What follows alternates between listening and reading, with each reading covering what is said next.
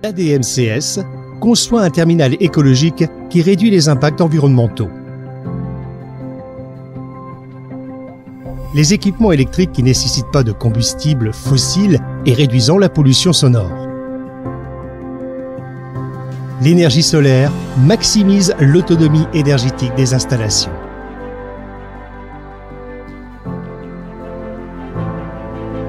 Un système de filtration et des bacs de rétention assurent la collecte des eaux usées.